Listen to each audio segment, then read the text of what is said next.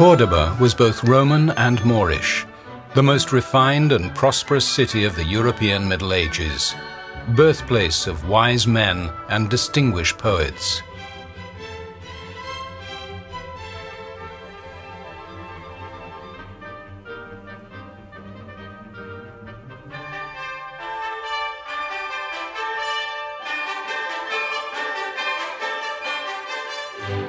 Built on the banks of the Guadalquivir at the foot of spectacular mountains, Cordoba is a meeting place of cultures and continues to be a shining example of beauty and repose.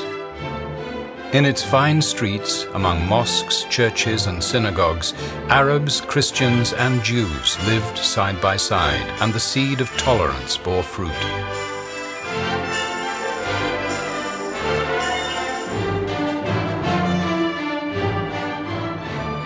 Cordoba, treasure house of the great traditions of the East.